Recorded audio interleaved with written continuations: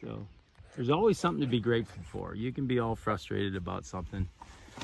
I could be mad at the shop for not doing this right. Um, but they're going to come make it right, you know, before we have to use it. So uh, we'll get this chipped up and this is going to become biochar.